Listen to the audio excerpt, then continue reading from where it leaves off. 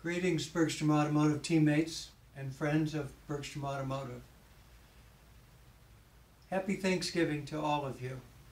It's going to be a little different this year.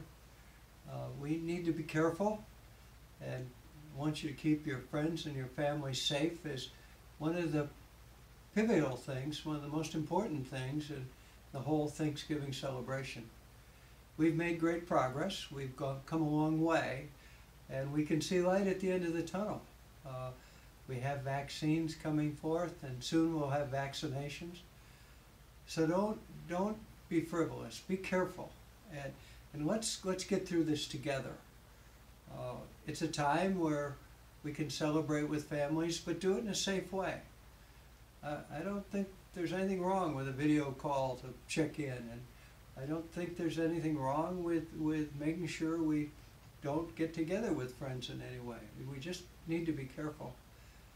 Most importantly, how I look at Thanksgiving this year is a special direction of thanks to the healthcare workers. How incredibly hard they're working for all of us.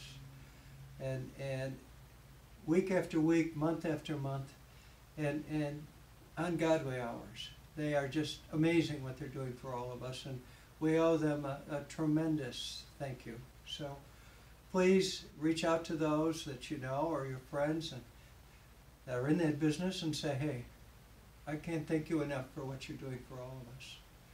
And lastly, let's just say thank you for all of the blessings we have, the freedoms we have as Americans, and, and in so many cases, the benefits of hard, hard work that help so many have this wonderful life that we all share. So thank you all very much. Happy Thanksgiving and please be safe.